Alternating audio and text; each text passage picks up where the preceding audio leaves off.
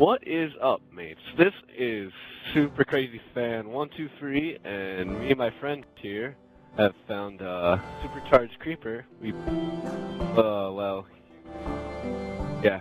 Uh, so,